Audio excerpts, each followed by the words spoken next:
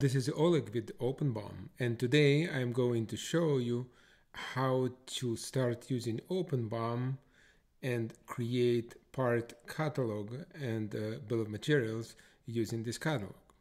So first let's start from this picture. This picture shows you a basic view of um, BOM and catalog. And what is the difference between part catalog and BOM? In OpenBOM, you think about part catalog as a list of parts, uh, assemblies, and uh, subassembly that can be used in uh, different uh, products. So uh, you can create one or many part catalogs and use it for different purposes. Like, for example, you can create uh, electrical parts, you can create mechanical parts, you can create outsourced assembly, and many others. Then you can create bill of materials and you can use parts or assemblies or sub-assemblies from these catalogs. But now let's shift gears and uh, go and make some practical examples. So let me start first from creating a catalog. So the simplest way to do it is to create catalog from the menu, create part catalog. Note you also can uh, import part catalog from spreadsheet and this is if you have mm, spreadsheets with um, parts that you're using before started using OpenBOM. So let's call this catalog cat 10 and uh, another thing that we can do in a catalog is that we can set up part number. What does it allow us to do? Is allow us to create a range and prefix and suffix for part number. So let's do it something very simple. CA is prefix and uh, configure range from 000 with step 1 to 999. That would be our simple part number and we will add the separator dash.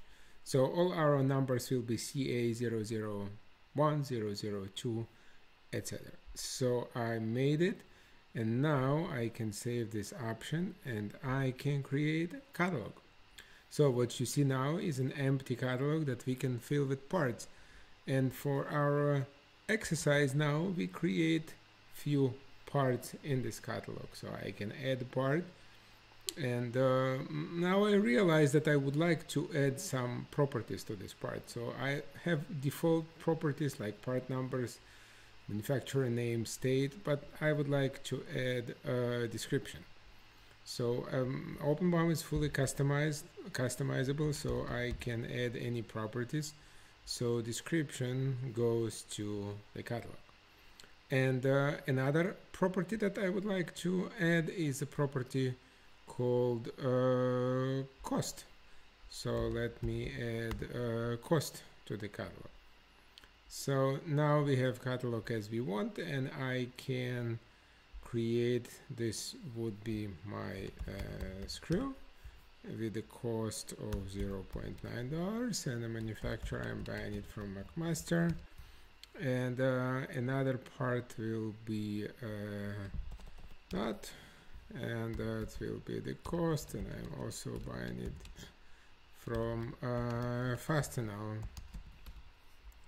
so, mm, and uh, th those are uh, basic uh, parameters of the catalog that I want to make. And, you know, let's make uh, another part and I will call it widget and uh, the cost will be defined later on and um, the manufacturer will be myself so I, I, I, don't need to put a manufacturer name I leave it free empty so we do have this part catalog with all information. If I want to see information differently, I can run info panel and see this information in the list. So now, uh, congratulations, we got the basic catalog.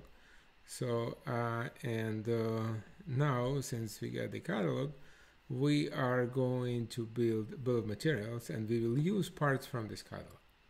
So let's me step back to uh, dashboard and let me create new bill of materials.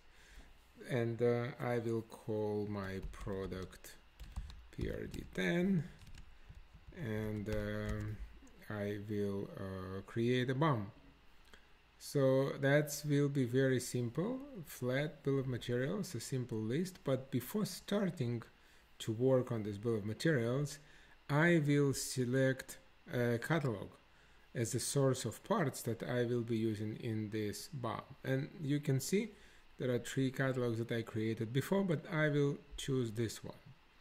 So that's the important moment. What you see this warning says that description and cost are properties defined in a BOM, but also properties defined in a catalog.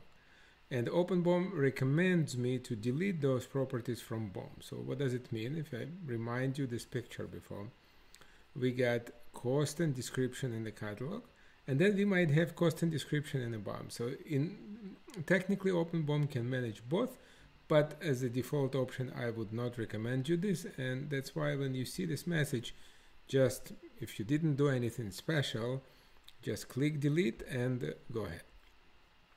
So what we got now is that we got a list of uh, properties where a part number and quantity is something that we have in a BOM and all other properties are defined from catalog. So how you see those properties are coming from catalogs? First of all, they gray, but sometimes color is hard to see on different displays. So square brackets are telling you those are properties are coming from catalogs. Those properties are read only, read only. You can't change it in a BOM. And now we are going to select part. So um, we can select part from drop-down list, but we can also click on the search user interface. And search user interface automatically brings us uh, parts from the catalog that we selected. But we, of course, we can search. Not that now it makes any difference because there are only three parts, but I can give you an idea that this is a free text search and you can part for, search for any part. So I selected widget, I can see the properties and I can insert in this BOM. And look what happens is that the data now is uh, imported and placed inside of BOM but this is the visual the data is actually managed under catalog so if I go and I see my info panel I can see that the properties part number and quantities in the BOM but all other properties are actually catalog properties. And here I also can see link to the catalog. So let's repeat it one more time. And we will add another uh, part. Now I will select it using uh, just a list. And we can see that the data is coming from catalog exactly in the same way. And we can see this data in a BOM and uh, also the data coming from catalog. So congratulations, we just learned how to start using OpenBOM by creating part catalog and then creating bill of materials that is uh, using parts from this catalog. That was Oleg at OpenBOM, and uh, thank you very much for listening.